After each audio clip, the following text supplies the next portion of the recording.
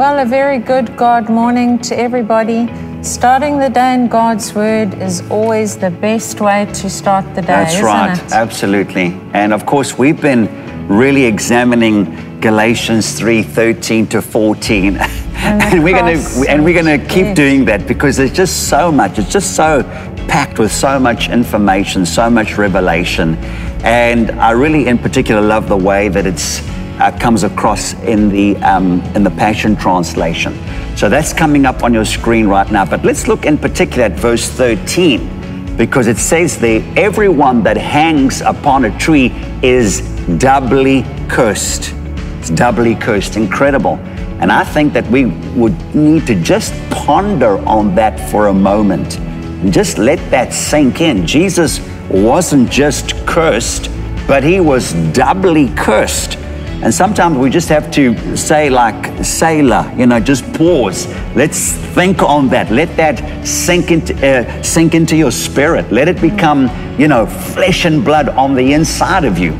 So the reason why we need to do that is because of this. If Jesus was doubly cursed, then that means you and I were doubly blessed. Yeah.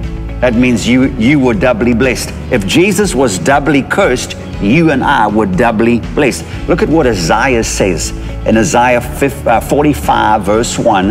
It says, Thus says the Lord to his anointed. I want you to put your name in there. To John, to Joy, to Cyril, to Varney, to whoever, whose right hand I have held to subdue nations before him and loose the armor of kings to open before him the double, doors. doors. Hmm, the double doors wonderful.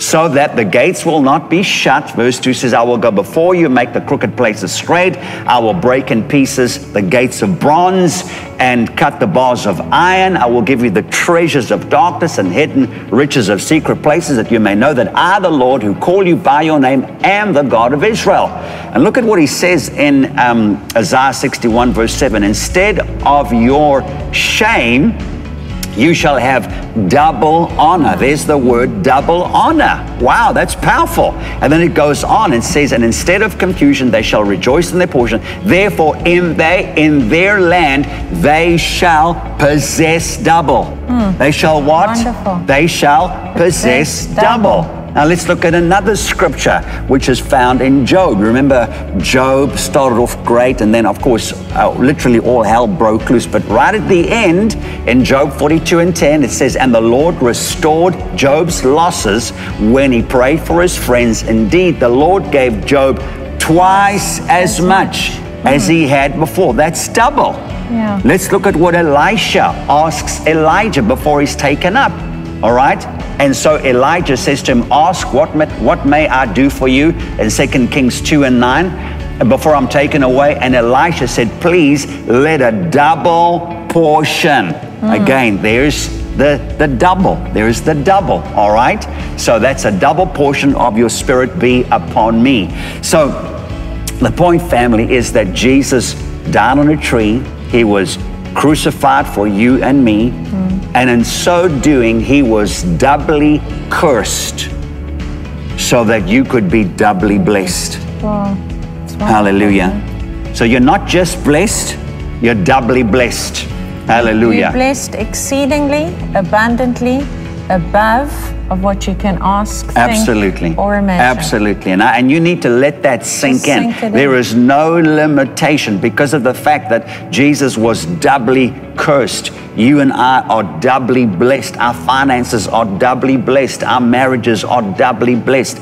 Our businesses are doubly blessed. Our creative thinking is doubly That's blessed. The way that we conduct business and connect with people is doubly blessed. Hallelujah. Your ministry, your church, the giftings and callings that God has placed on the inside of you are doubly blessed, which means it's going to have double the impact right. on your neighborhood, in your business, in your world. Amen. So let that really sink in because that's a truth that you need to lay a hold of. Amen. So we're going to pray this morning.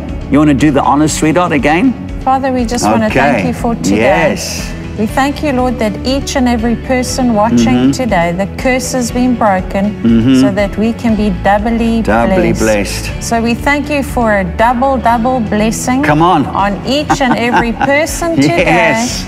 In Jesus' name, amen. Amen. Double, double you. over. Double, Have double. a double, double day double, today. double. Bye.